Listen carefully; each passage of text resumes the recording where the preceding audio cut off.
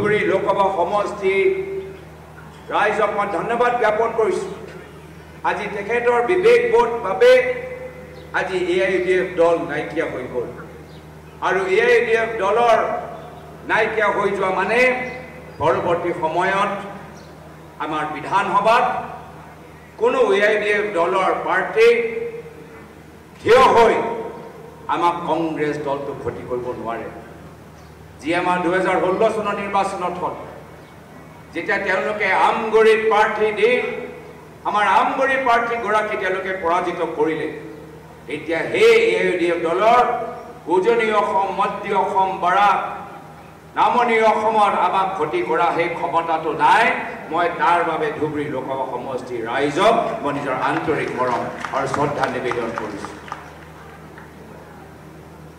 কিন্তু যদি বাস্তৱভাৱে আমি অসমক সাম্প্ৰদায়িক ৰাজনীতিৰ পৰা মুক্তি দিয়াবলৈ বিচাৰোঁ যদি বাস্তৱভাৱে অসমত আমি এটা শান্তি আৰু সম্প্ৰীতিৰ এটা অসম গঢ়ি তুলিবলৈ বিচাৰোঁ যদি সঁচাকৈ আমি আগৰ দৰে প্ৰাক্তন মুখ্যমন্ত্ৰী প্ৰয়াত তৰুণ গগৈদেৱৰ অসম যদি আমি ঘূৰাই আনিবলৈ বিচাৰোঁ তেতিয়া ভৱিষ্যত আমাক আৰু কাম কৰিবলগীয়া আছে।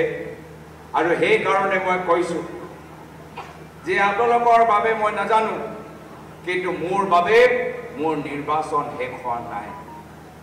মোৰ বাবে এয়া নিৰ্বাচন মাত্ৰ এটা ছেমি ফাইনেলহে আচল ফাইনেল আজিৰ পৰা দুই বছৰ পিছত আমি বিধানসভাত আমি নিৰ্বাচনত খেলিম আৰু সকলোৱে মিলি আমি সেই খেলটো খেলিম আৰু আমি জিকিম।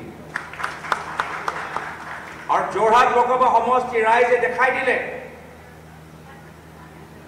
যে এজন ৰাজনৈতিক অভিভাৱক নহলেও যদি ৰাইজে সিদ্ধান্ত লৈ লয় যদি ৰাইজে নেতৃত্ব লৈ লয় তেতিয়া ৰাইজে বিজেপিক পৰাজিত কৰা সেই ক্ষমতা সেই শক্তি অসমৰ জনসাধাৰণৰ ওচৰত আছে। যোৰহাট সমষ্টিৰ ৰাইজৰ ওচৰত আছে। যোৰহাট বিধানসভা সমষ্টিত আমাৰ অভিভাৱক কোন?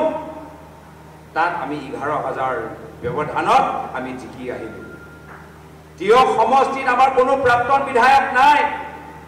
সেই তিয়ক সমষ্টিত আমি বিশ হাজাৰ ব্যৱধানত আমি বাইছ হাজাৰ ব্যৱধানত ওলাই আহিছোঁ। মহামাৰাত আমাৰ কোনো প্ৰাক্তন বিধায়ক নাই অভিভাৱক নাই। সেই মহামাৰা সমষ্টিত আমি ন হাজাৰ ব্যৱধানত আমি ওলাই আহিছোঁ।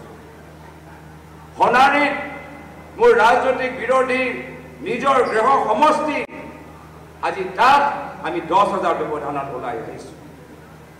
সেইটোৱে আমাক এটা শিক্ষা দিয়ে যে যেতিয়া ৰাইজে নিজে ওলাই আহি ৰাইজে যেতিয়া নিৰ্বাচন খেলিবলৈ আহে শেষত গৈ ৰাইজৰ জয় হ'বই।